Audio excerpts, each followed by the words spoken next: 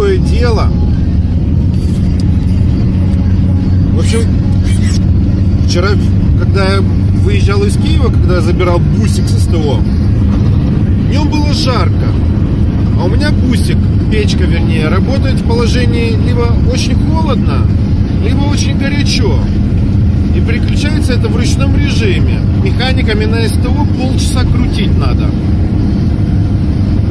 Я же вчера днем спотел и попросил механиков, говорю, лето наступает. Говорю, пацаны, вы мне печку поставьте в положении холодно. Но они поставили. Так это ж дубарь, извините. Во-первых, за ночь я замерз как цуцик, потому что дует холодный воздух и на улице минус черт знает сколько. Так еще и на подъезде к Харькову мокрый снег идет. А я еще такой Вася. Зимнюю курточку бушлатик оставил дома. Думаю, да зачем оно мне?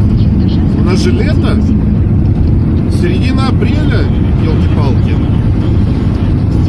Короче, еду и мерзну.